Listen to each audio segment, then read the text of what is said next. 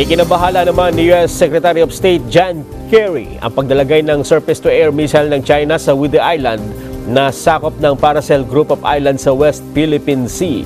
Ayon kay Kerry, serious concern ang pinakahuling hakbang nito ng China na lalo lang anyang nagpapataas ng tensyon sa mga pinag-aagawang teritoryo. Iginit, iginit ni Kerry na dapat ay walang anumang uri ng militarisasyong umiiral sa West Philippine Sea, partikular sa mga isla sa Shoal na at Seoul at mga inaangking ng bansa kabilang ang China, Taiwan, Vietnam at Pilipinas.